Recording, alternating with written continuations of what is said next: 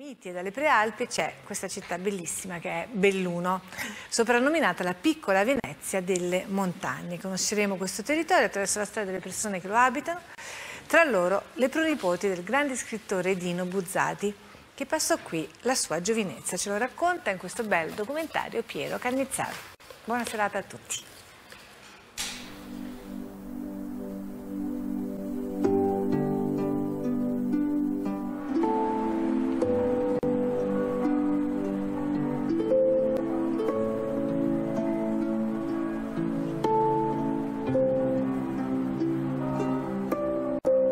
Esistono da noi valli che non ho mai visto da nessun'altra parte, identiche ai paesaggi di certe vecchie stampe del romanticismo.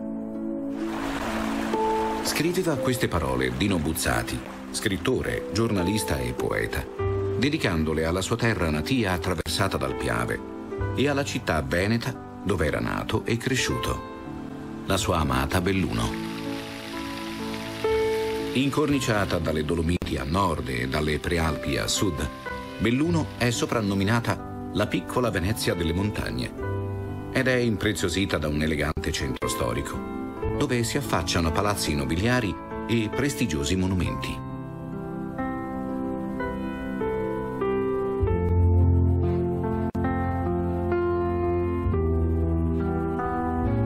Entrata a far parte delle città slow, Belluno è nota anche come la città delle rondini, tanto che sotto i porticati sono stati posati alcuni ombrelli che segnalano la presenza dei nidi di questi uccelli migratori.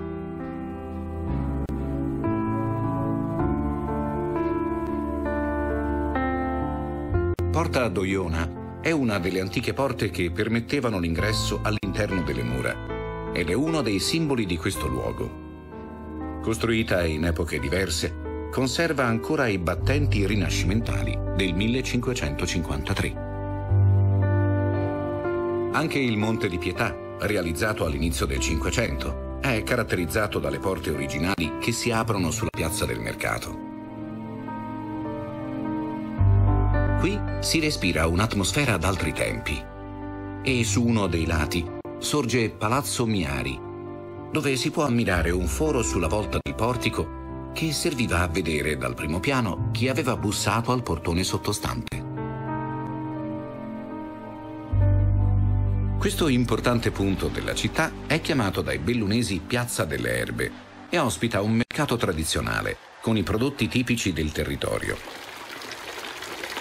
Inoltre, sempre sulla piazza, le canne della fontana di San Lucano sono a forma di drago per richiamare lo stemma comunale e riprendere sia lo stile medievale che quello rinascimentale. Sembra che Belluno sia stata fondata nel V secolo a.C., quando i popoli primitivi si insediarono nell'arcaica Belodonum, che in celtico significa altura luminosa. Alcune tra le più significative testimonianze artistiche e architettoniche risalgono però al dominio della Repubblica di Venezia, durato dal 1420 al 1797. Tanto che numerosi scorci richiamano la suggestiva bellezza della Serenissima. Incastonata tra meravigliosi rilievi montuosi, nella località di San Pellegrino, a circa due chilometri da Belluno, è adagiata la villa in cui Dino Puzzati ha trascorso i suoi anni giovanili e, più tardi, le sue vacanze estive.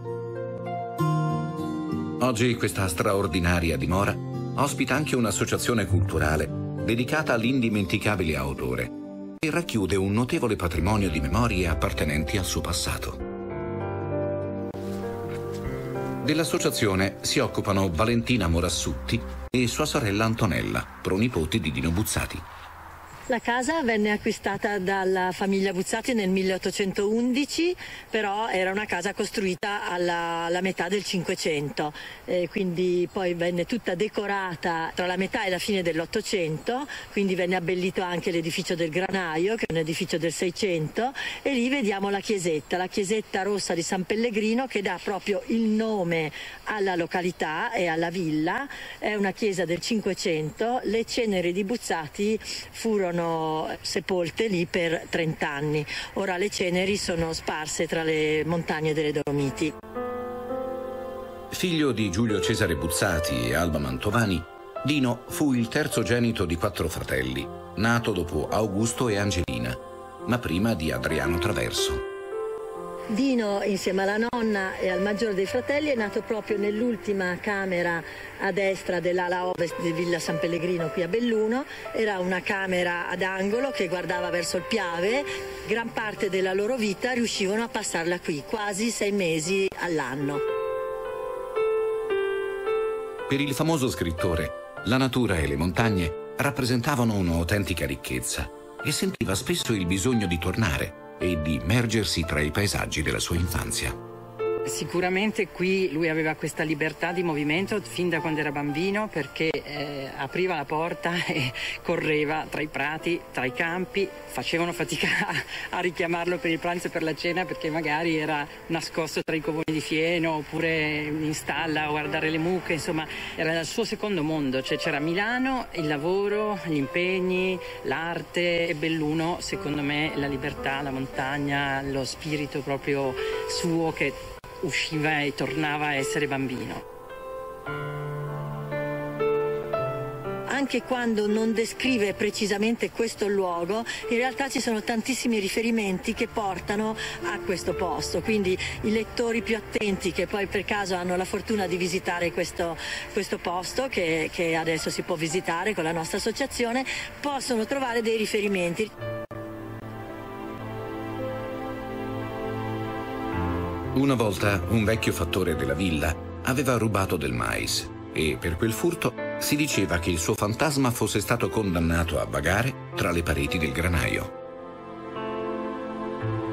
Noi da bambine lo sentivamo raccontare dal nonno Eppe e da lui e, e, da questa loro esperienza nacque questo bellissimo racconto, si chiama proprio Lo spirito nel granaio. Questa casa, dove Buzzati nacque nel 1906, ha mantenuto inalterato il suo fascino. Inoltre, la sua magica atmosfera ispirò anche le opere grafiche e pittoriche dell'artista. Ecco, questo è un quadro che Dino eh, dipinse nel 68 e rappresenta me e mia sorella. Io avevo 4 anni e mia sorella Valentina 7.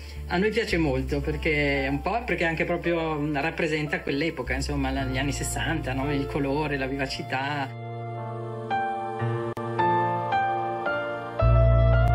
Tra le stanze riecheggiano i ricordi di un'esistenza trascorsa da Dino sulle Dolomiti, immortalate nelle numerose foto che i familiari hanno raccolto. Le foto di Buzzati bambino, i suoi genitori,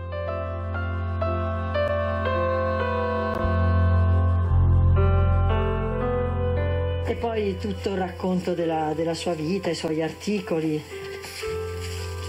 suoi amici, un bellissimo ritratto, la sua scrittura, un bellissimo racconto che si chiama Le cose che odio. Questa è Villa Buzzati San Pellegrino, qui a Belluno dove ci troviamo, esattamente proprio come adesso, la facciata tutta affrescata, il granaio, il grande albero monumentale che sbuca dai tetti.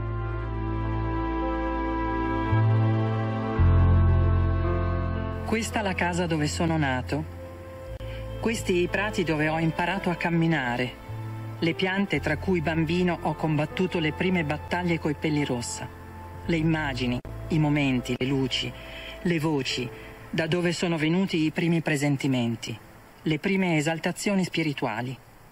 Da queste erbe, cespugli, alberi, fossati, viottoli, muri, stanze, corridoi, scale, libri, mobili, fienili, solai, ho ricevuto la prima poesia.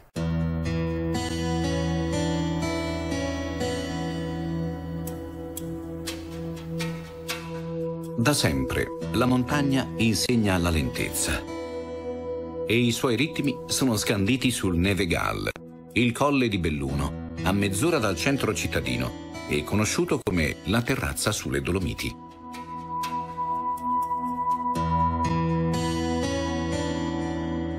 Con le sue cime che superano i 1600 metri, Il Nevegal è frequentato dagli amanti della neve, come Fulcio Miari e Antonio Piazza. Per godere dei panorami disegnati dal Monte Grappa, dalle pale di San Martino, dalla Marmolada e dalla Gordino, Fulcio e Antonio risalgono i ripidi pendii con gli sci. Prima di iniziare la discesa sulle vette imbiancate, si tolgono le pelli di foca, strisce in tessuto sintetico che aderiscono agli sci, indispensabili per scalare i versanti. bello di questa zona è che proprio siamo in mezzo alla Val Belluna, al lago di Santa Croce e a Venezia.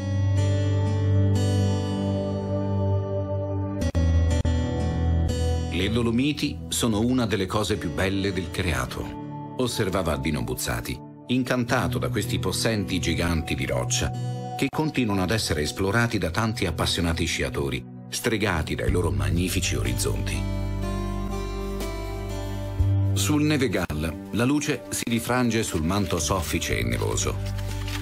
I frequentatori invernali della zona, come Michele Nenz, percorrono le candide pareti con le ciaspole, a piedi o in bicicletta, oltre che con l'attrezzatura per lo sci alpinismo.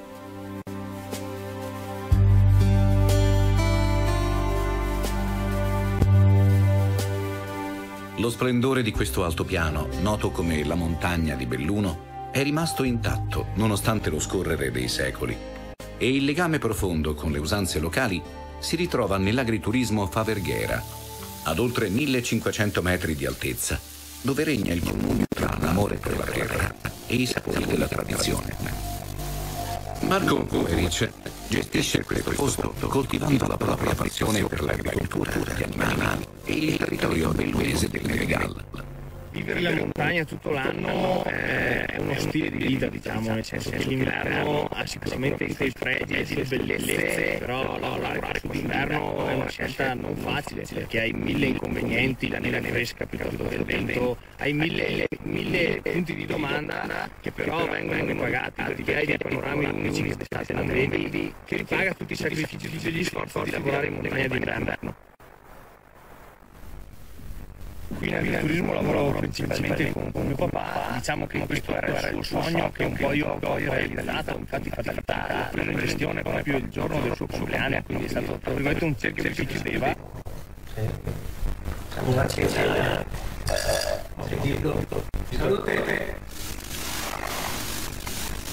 Attento alla freschezza e alla genuinità dei cibi proposti in tavola, Marco segue la stagionalità dei prodotti, cercando di portare nei piatti solo quelli provenienti dal suo agriturismo o dalle fattorie limitrofe della zona.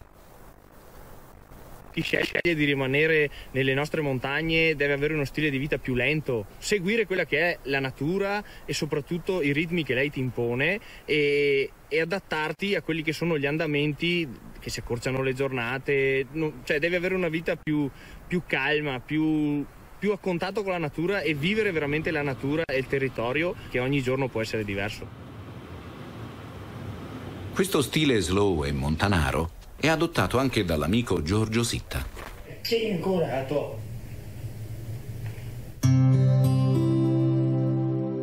In inverno, riscendendo verso il capoluogo, i sentieri del Nevegal regalano paesaggi pittoreschi, circondati da incantevoli corone montuose e immensi prati. Inoltre, i panorami sono puntellati da poche abitazioni e da fonti d'acqua purissima.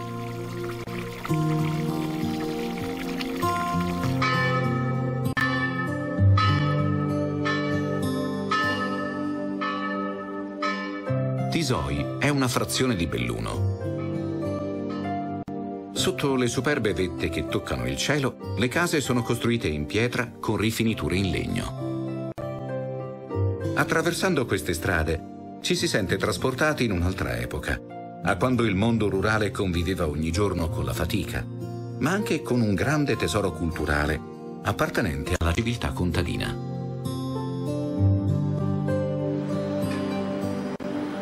A Tisoi c'è ancora una storica latteria, dove si allevavano circa 150 capi di bestiame e nel moderno caseificio si lavorano quotidianamente tra i 10 e i 15 quintali di latte.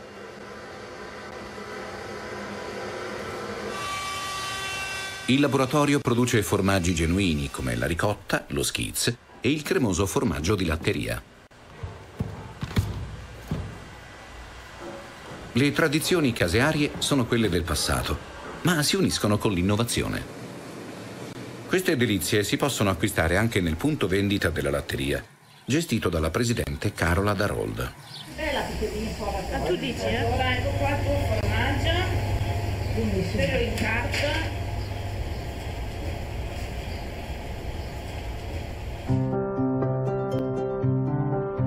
In Val Belluna, non distante da Modolo, Stefano Mantegazza affronta in bicicletta la scoperta del territorio. Il paesaggio è tutta, sono tutte strade bianche, anche un po' di asfalto, e va a toccare tutti i borghi, tutte le stradine più secondarie, strade bianche.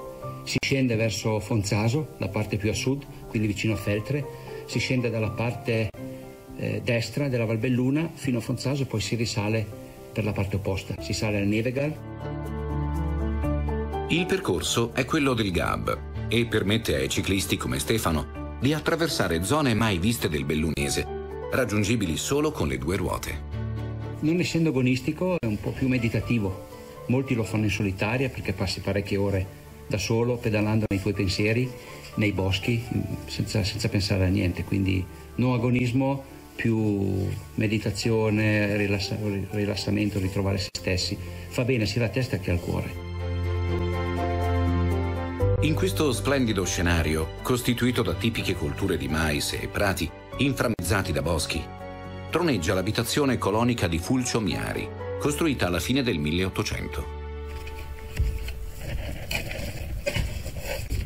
All'interno si respira il fascino di una vecchia fattoria, dove Fulcio ama rispettare le usanze di una volta.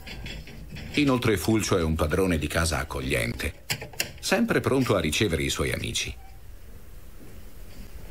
Oi, Stefano, Sono pronto. sei pronto? Bene, dai. Bevi un caffè? Volentieri, prima di partire. Buono.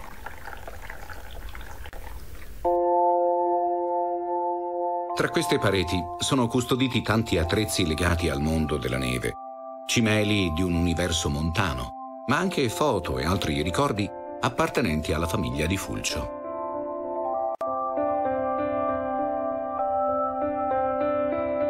Qui si svolgeva un'esistenza scandita dai cicli delle stagioni, si raccontavano storie intorno al focolare e si cucinavano piatti frugali con i pochi ma gustosi cibi provenienti dalla campagna.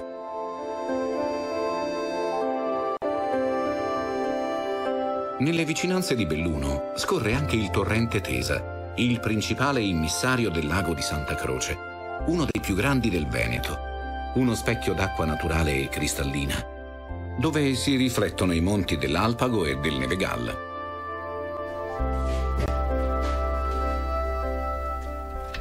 Tra le cime assolate c'è anche chi, come Cristiano Biagion, prepara le Giuseppine, un delizioso dolce del carnevale bellunese. Le golose ciambelline, tipiche della zona, sono impastate con burro, farina e uova, prima di essere fritte e riempite di crema. Una volta le Giuseppine si mangiavano solo in occasione della festa di San Giuseppe, ma oggi, grazie al gusto delicato, allietano anche i giorni di festa del periodo carnevalesco. Vicino al lago di Santa Croce, Roberto Tonon si dedica all'attività di apicoltore. Le sue api si nutrono in un ambiente con una vegetazione variegata che regala un'eccellente qualità al miele locale.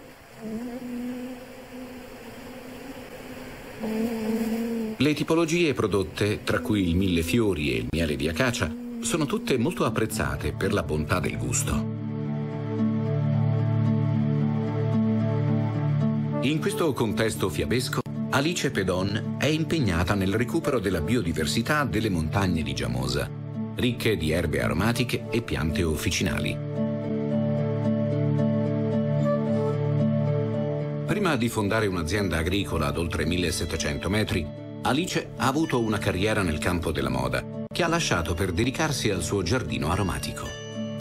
Ho conosciuto mio marito bellunese, che Belluno poi tra l'altro è un territorio splendido, bellissimo, dove la natura veramente fa da protagonista. Ci è venuto naturale mettere radici qui, in particolar modo quando abbiamo visto questo campo, questo terreno bellissimo in mezzo al bosco e a due chilometri diciamo, dal centro. Potevo veramente dar vita ad un'attività eh, coniugando la passione per la famiglia con eh, di fatto la passione poi per le piante, per la natura. Ciao, ciao, su, eccoci, bella. Su uno sfondo idilliaco, l'attività di Alice ruota attorno alla coltivazione di piante biologiche e alimurgiche, ovvero che crescono in modo spontaneo e che sono commestibili.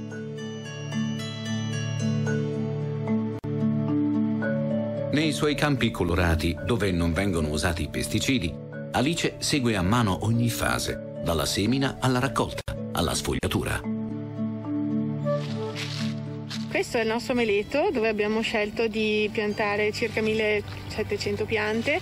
Metà meleto è stato dedicato al recupero di, della biodiversità e quindi cultivar eh, di fine 800, eh, nella fattispecie molto diffuse qui nella Val Belluna, eh, Trentino, Alto Adige e sono piante che nascono veramente resistenti proprio perché hanno delle caratteristiche di particolare diciamo, forza e resistenza alle fitopatologie. Dai suoi raccolti biologici, Alice ricava dei cosmetici naturali di alta qualità e delle prelibatezze enogastronomiche, come le croccanti chips di mela, ma anche dei succhi purissimi estratti dagli alberi dei suoi campi. Alice ha deciso di adottare il passo lento e cadenzato di una natura sostenibile, lo stesso che ha abbracciato Belluno, accolta tra le città slow grazie al rispetto di questi valori legati al buon vivere. Costeggiando il torrente Tesa e giungendo a Chies d'Alpago, si può attraversare la foresta del Cansiglio, una risorsa preziosa per il popolo dei Cimbri, che arrivarono qui nel XVIII secolo dall'altopiano di Asiago. Come abili boscaioli, i Cimbri furono incaricati dall'arsenale di Venezia di realizzare i remi per le navi della Serenissima costruiti con il legno dei faggi e degli abeti di questa foresta. Inoltre, dopo aver edificato ben otto villaggi tra questi monti, oggi in parte ancora abitati dalle storiche famiglie degli Azzalini, Bonato, Gandine e Slaviero, i Cimbri introdussero l'artigianato degli scatoleri, dediti a intagliare assicelle di faggio, utili per confezionare oggetti di uso comune. Sulla conca di Chies d'Alpago pascolano gli yak, enormi mammiferi originari del Tibet. Giunti su questo altopiano nel 2009, gli yak vivono allo stato brado e contribuiscono a recuperare i pascoli abbandonati e a tenere pulito il sottobosco. Di questi bovini si occupa la malga Hillary, nota per l'allevamento della pecora alpagota, una razza autoctona ricercata per la sua carne che riesce ad alimentarsi su terreni marginali. Per Hilary Fullin, la sveglia suona ogni mattina intorno alle 5.30, quando si reca in stalla per iniziare a far mungere le sue pecore. Il latte che ottiene dalla mungitura è poco, ma è molto pregiato. Insieme al compagno Franco Pianon, Hillary cura i suoi animali, tra cui i 500 esemplari di questa razza ovina caratterizzata dalla presenza di macchie sul muso e sulle zampe, a parte qualche eccezione. Una femminuta nera, questa, guarda che bella nera che è questa ieri, guarda. Vedere? Sì. Bella, bella. Dalla pecora al pagota si ricava anche la lana, mentre con il latte lavorato a crudo, la malga produce alcuni formaggi saporiti, come il pecorino. I salumi invece provengono dalla carne di yak.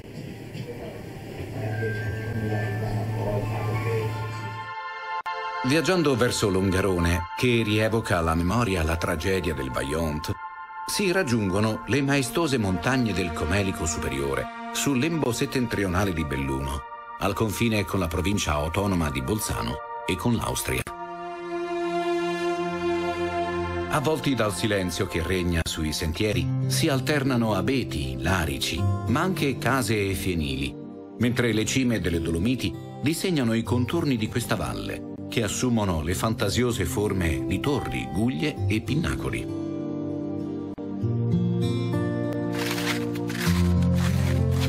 Con le ciaspole, la guida alpina Alex Pivirotto percorre i versanti innevati insieme a suo figlio e a Giuliano Baracco. Alex ha cercato di trasmettere a suo figlio la passione per lo sci e l'amore per questo luogo in cui è cresciuto.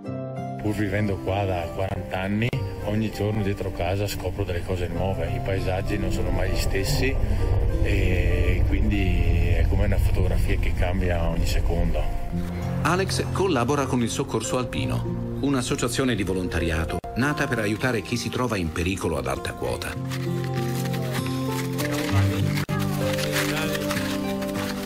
Negli ultimi anni, sempre più giovani sono entrati a far parte dell'associazione e il numero degli interventi è aumentato a causa della minore preparazione di chi decide di avventurarsi sui ripidi pendii.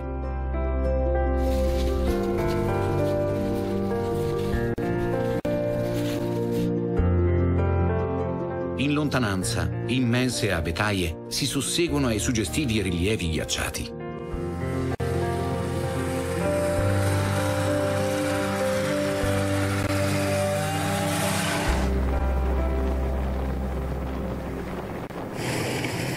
In questo microcosmo, le regole seguite dalla comunità, così come la persistenza delle tradizioni montane, sono state adottate da Danilo Mina e dalla sua amica Elena Ceso.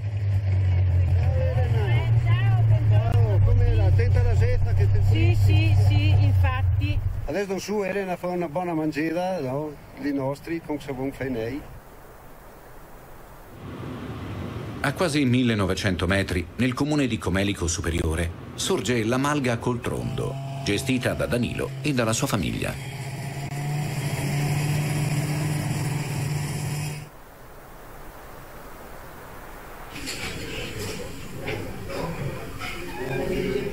Nonostante le difficoltà legate all'alta quota, trasferirsi in questa malga ha rappresentato un progetto importante per Danilo e per sua moglie Michela. Questo luogo, fin da bambino, venivo qui con i miei genitori e proprio mi è rimasto nel cuore. Sia da bambino che poi da adolescente e dopo da ragazzo e via, e via dicendo, alla fine siamo riusciti a arrivare qui come, come lavoro e a condividere questo sogno con tutta la mia famiglia, che è una delle cose più belle che uno può desiderare nella vita. Noi abitiamo qui, lavoriamo per otto mesi all'anno, periodo invernale ovviamente sentiamo in paese la sera, periodo estivo rimaniamo qui giorno e notte.